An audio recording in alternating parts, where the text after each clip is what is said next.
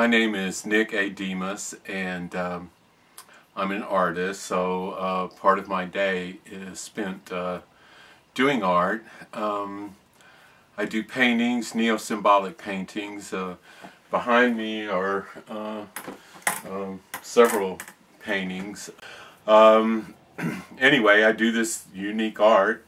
It's uh, my calling in life and uh, this is uh, my uh, computer room where I communicate with uh, people and um, my website uh, neosymbolism.com or neosymbolic.com. My purpose is um, I create these paintings with words and the interrelationships of the words uh, in our language I think reveal a lot about us.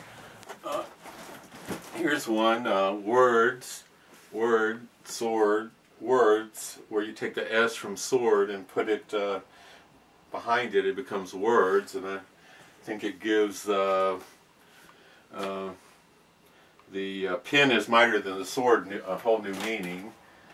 Um, here's one of my paintings, uh, Oeuvre, Louvre, where uh, uh, the ancient meaning of that word is the finely worked, and with the L in front of it, it becomes Louvre, which is a palace and a museum, and also um, it is the levelers, uh, uh, is the other meaning. So uh, I, this painting is the finely worked Louvre, and I think that's probably what the peasants said uh, when the Louvre was being built, or the palace, uh, and it just sort of, uh, the L got attached because it was masculine, uh, and uh, we, we ended up with Louvre. So uh, Louvre is also open, so this painting's a finely worked Louvre, open to the light, and Louvre is also levelers. Know, anyway, this is the French Intellectual Society, and then you can click on here, and it it brings up my website uh, right there. And I have quite a quite a few paintings here, and they're all very interesting. The neo-symbolism, uh, the neo-symbolism being um, uh, basically words juxtaposed to words and the letters within words.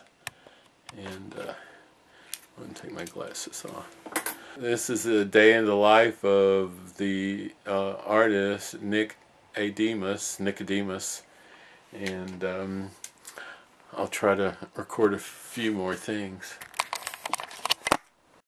Here is uh, my painting Oeuvre Louvre Oeuvre, a large one, 8 foot by 12 foot. You kind of get a sense of the perspective with uh, kind of get a sense of the perspective with me in the frame.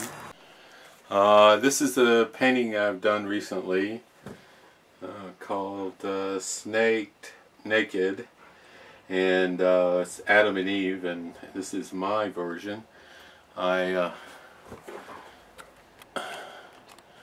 I try to come up with sort of uh, insights into words that people don't normally see, but they're uh, sort of woven into the structure of our language and uh, either lost and we're rediscovering them. But uh, neo-symbolism is words juxtaposed to words and letters within words.